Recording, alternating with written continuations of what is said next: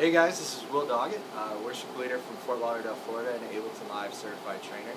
Uh, we're here again, just like the last video I shot for you guys and showed you.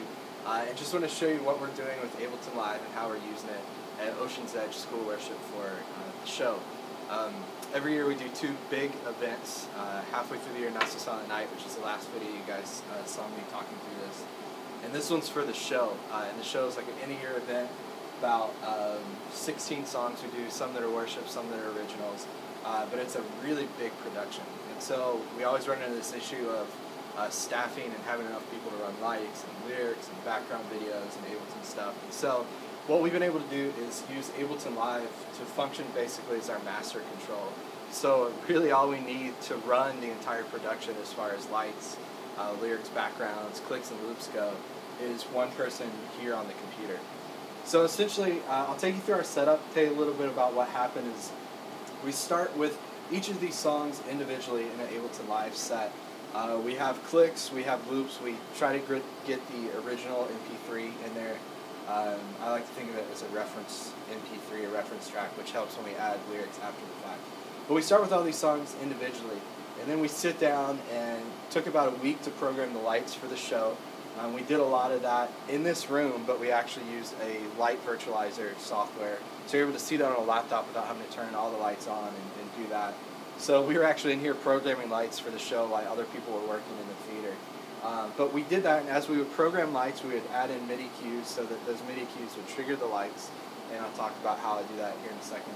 Uh, and then once we did all the, the light cues for things, we would add in lyric cues that would uh, MIDI notes that would trigger things in ProPresenter. And then once we had all that together, we put it all together in this Ableton Live set. Uh, and again, this is really actually functioning as our master control. So all uh, a volunteer needs to know how to do in this scenario is click a button for whatever song or whatever uh, thing that they're going to and thing that's happening. and it's going to happen automatically. It's going to set the lights, lyrics, background videos. Uh, so for instance, let me show you one of these songs. Uh, this is a song uh, called um, Heaven and we have kind of these two songs. It starts with a few hits. But this one actually starts, we have a video that's about three minutes long. Right out of that video, we go into a guitar player playing by himself. And so what we have happen is, at the end of that video, it's automatically timed to where it's going to clear out the video in ProPresenter, and then it's going to pull up the lighting look for the guitar player to start. So what's neat about this is when I click this cue and press spacebar, you'll see the lights in the theater slide over and highlight kind of where he is. So all I have to do is click spacebar. In our scenario, the video would just say and the light would move into place. He does his thing, which isn't to a click. Uh, it's kind of freeform. And then as soon as we're ready, I'll turn up our mixer here so we can hear click. The band hears click, and then they have some hits that they hit on. So we have the lights sequence so that they hit exactly when the band's going to hit. You can see the background videos that we have that are pulled up to match the look and feel of the song. Uh, then the band kicks in and do a little drum thing, and the lights move out. So the beauty of this, though, is all this stuff happens with a click of one button. Uh, we can kind of step away, and once Ableton's running things, it's going to run things, and it's going to change light looks based on where we are in the song. I'll take you a little further into the song, kind of the B section here. Um, and you'll see in just a second on the sides, the lights are going to fade up where the choir starts singing.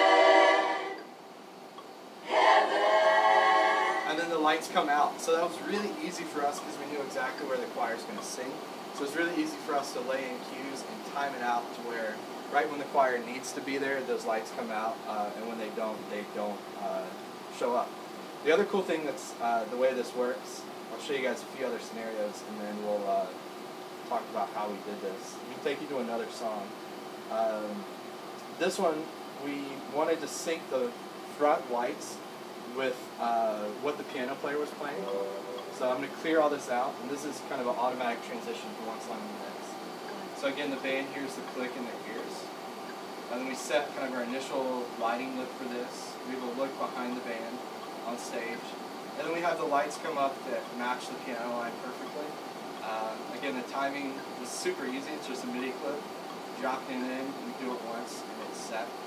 Um, and it just, again, works really, really well, really easily.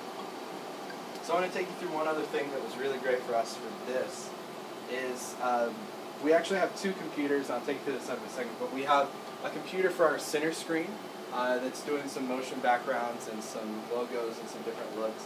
And then we have a computer for lyrics. Both of these guys are running ProPresenter. We're controlling them with the MIDI module uh, that you can purchase for ProPresenter. That's really great. Um, but what this allowed us to do is we have two ProPresenter computers. We have Ableton computer. We have lights. It's a lot to manage. But again, one person uh, can run the entire show. So if I go to like the beginning of my set here, I have a clear command, which is going to clear all my uh, ProPresenter looks, going to clear my lights out. And then we have an intro look that's some intro slides. When I click that, that those slides come up. I have another one for a, a portion of the show where um, our director of our school is talking about how we use Wham City Lights, which is a, a lighting app. And so when I click that, it brings up the video on the side, the logo in the center. Um, and again, if I want to clear all that, I can clear it really easily. The other cool thing that we're using Ableton for in this scenario is for all our pre-show stuff. So if you look kind of at the beginning part of this set, you'll see a, a, bunch of locators here, you'll see a bunch of MIDI clips. What we needed to do is we needed a slideshow to go on the side of the screens, uh, we needed pre-show music to play, we needed videos like every uh, couple minutes, we had some videos with audio that we wanted to drop in. Um, but the pre-show music was all songs from the new CD we did. So we have slides that match up that say, hey, the song you're currently listening to um, is Hallelujah, or the song you're currently listening to is Oddity, which is off the new album. So we needed that slide to correspond with the music, and when the music wasn't playing, we needed the video to play. Uh, well, last year we ran into the issue of you know the sound guy having to run back up to the soundboard, adjust for levels, having two different you know uh, levels and faders he has to mess with. This year we made it really easy on the sound guy. So um, the entire pre-show thing is programmed in Ableton. It's about 30 minutes worth of stuff. Um, and you can see this crank in. It's going to play a promo video at the beginning there. And um, if we had three minutes, we'd sit and watch the whole thing. But I'm going to jump to the end here. And what happens is it's going to clear that video out. You can see all these MIDI cues here. And then from there, it's going to start an audio track off the same computer. You can see our slide that corresponds with the song. Uh, then it's going to cycle through the slideshow. So again, that allows us to do all this uh, beforehand. Everything is synced up, um, and everything's happening essentially exactly like we want it to, which is really, really great. Um, and then again, once I get to the end here, when we're ready, uh, with a click of a button, don't even have to touch the ProPresenter computers. I can clear all those looks and bring kind of our intro look back up. So that's basically what we're doing for the show. Uh, let me take you through kind of how we're doing this. Um, a lot of people look at this and I get a lot of emails from people saying, hey, how do we do this? We're a small church. I'm like the only guy on staff that's a worship guy. There's no way I can figure this out. Um, it's incredibly, incredibly simple. So let me take you through all the elements. First thing we have here is our Ableton Live computer. It's a Mac Pro. Um, it's not a Mac Pro because of the stuff we're doing. It's not a Mac Pro because you have to have a Mac Pro. It's a Mac Pro because that's our studio computer. And come time for the show, we're all using our other computers for service and for everything. So this one's available, it's usable, we were able to bring it over here. So that's why we're doing this.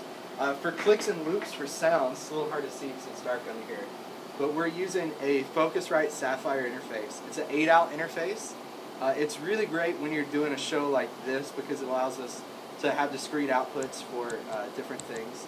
We're going out of there with a, a kind of basic quarter inch snake to, I believe, six DIs. We have click, loop, synth, choir, left and right, and percussion. Uh, we pre-track a lot of the choir stuff because it's hard to get a really good choir sound when you have a full rock band. Um, you know, guitars, loud drums. So this allows us to kind of bleed in, uh, blend in the what we tracked with what's happening live. So that's our Ableton computer. Um, out of this, the main thing you probably need to know is we're running Ethernet out of this. You see the line taped down here. Uh, back to an Airport Extreme router. Again, don't let the extreme scare you.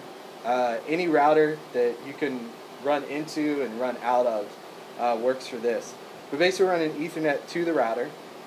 Uh, and this is basically a network that we've set up. It's not connected to the internet, but it allows us to network our Ableton computer and both of our ProPresenter computers together. So out of this, let's talk about the ProPresenter computers, and we'll go to the lighting console here in a second. Um, out of this, we go to uh, our ProPresenter computer for the lyrics. We're using the uh, multi-screen module uh, that you can get with ProPresenter, using the Matrox TripleHead2Go.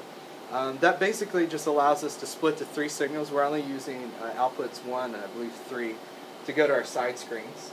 Um, that's taking the same signal and splitting it to our side screen so we can do lyrics. Uh, we're doing all our videos on the side there. Um, but that allows us to have that and have separate control over what happens in the center and what happens on the sides. Uh, so we've networked that in via Ethernet. And again, the way we're connecting these, I'll just go ahead and show you guys. There's this great feature built into every Mac computer called Audio MIDI Setup. Allows us to create a network MIDI connection, which can either be wired or wireless. In this case, we're doing wired. We've done wireless before, had no issues, until uh, a thousand people connect to your router and bump you off and you lose connection. Besides that, it's worked well. Uh, so in this case, we're doing wired. And basically what happens is when all those computers are on the same network, you create a network MIDI session on the master computer, which is our Ableton computer. In the directory here, you'll see the name of that computer. You click connect, and uh, now you can send MIDI over Ethernet to another computer. So we have audio MIDI set up. Within ProPresenter, uh, there's an optional MIDI uh, module. I believe it's a hundred bucks. It's really, really inexpensive. Um, that allows you to control basically the essential features of ProPresenter via MIDI commands. So you can go into MIDI setup, see all the different commands that you can use. If you haven't purchased this, you can demo it so you can mess with it and try it. Um, I have a video showing how to set that up in free cues that you can use so you don't have to make your MIDI cues. Uh, but all these different MIDI cues, uh, allow us to clear, bring up lyric slides, uh, really, really neat. And actually, let me take you through a song so you can see how that happens on that computer. So I can go to a song that we have lyrics for here. Um, this is actually an original song.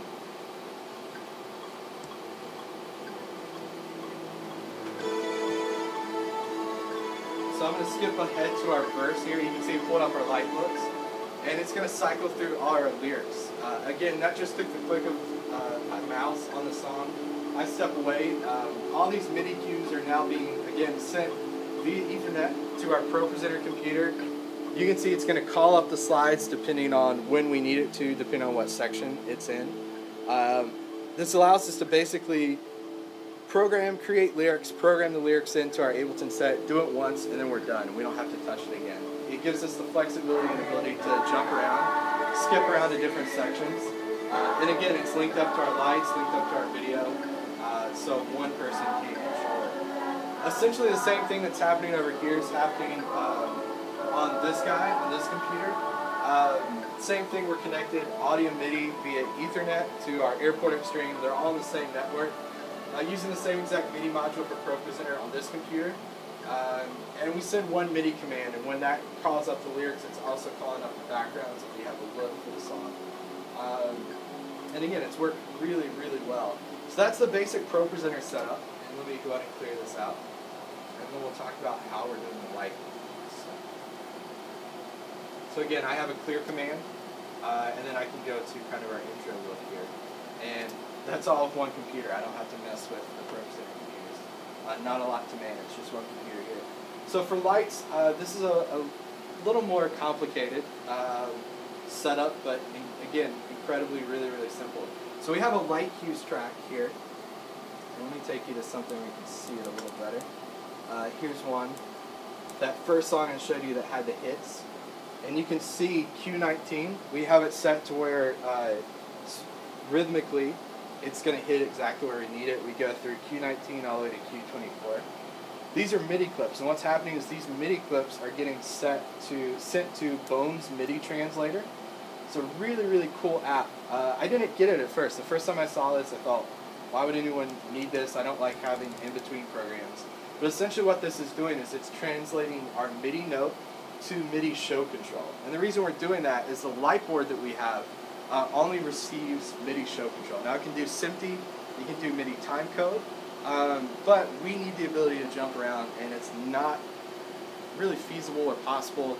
Um, it doesn't work as well when you're doing SMPTE, when you're doing something very linearly. Even though this is an arrangement view and it looks linear, we still have the ability to jump around, repeat songs, repeat sections. Uh, there's been a few times where the band will get off click. All I have to do is solo our click, get them back on, unsolo click, and everything's going to follow. It works really well. So what we're doing, because of the way this board works, and I, I get that question a lot too, is how do I control my lights? Uh, it's important to know what type of commands your board sees, whether it's MIDI show control, MIDI time code, MIDI notes, uh, SMPTE, um, and this particular one is MIDI show control. So we have a cue, MIDI cue that goes into Bome's MIDI translator. You can see all our cues laid out here. And I'll just take you to, we're looking at cue 19. So when I click this, you see my incoming thing.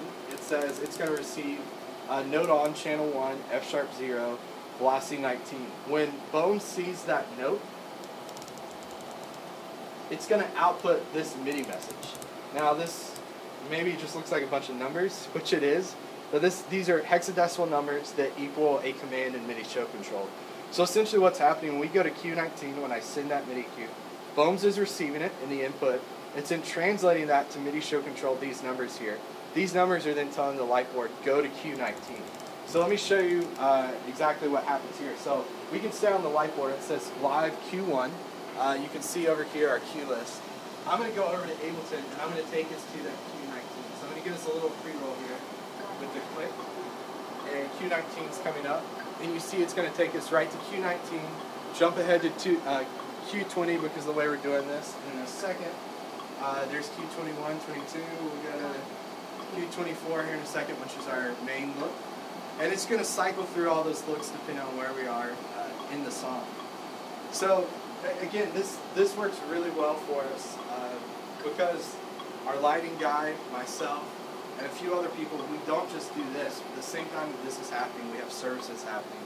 So uh, we pre-program, we do a lot on the front end, then that gives us the ability to walk over and do service um, during this, and we have a student that sits and runs this during the show.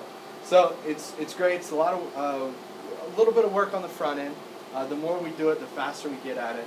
But during the show, we just sit back and relax and text and tweet and drink monsters and coffee and uh, just have a good time. So it allows us to kind of relax, and uh, and it all just works flawlessly.